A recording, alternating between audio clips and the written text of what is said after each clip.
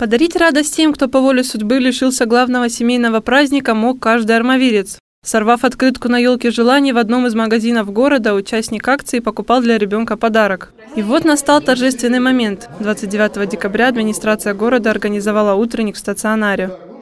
Сегодня мы вручаем подарки тем детям, которые находятся на излечении в больнице. То есть Новый год детки будут встречать в больнице, а это семейный праздник. Это праздник мандарин, праздник игрушек, праздник маминых улыбок, папиных рук. И поэтому мы хотим немножко это скрасить для наших деток. И все дети, которые находятся в больнице, именно в новогодние праздники, получат от всех нас, от всех армавирцев маленькие подарки. Дед Мороз послушал стихи, которые ему подготовили ребята, и пожелал детям скорейшего выздоровления, чтобы остаток новогодних каникул они провели дома. А пока они лежат в больнице, подарки поднимут настроение и обеспечат увлекательный досуг. Я писала «Здравствуй, Дедушка Мороз». Я хотела бы получить подарок э, игрушку мягкую.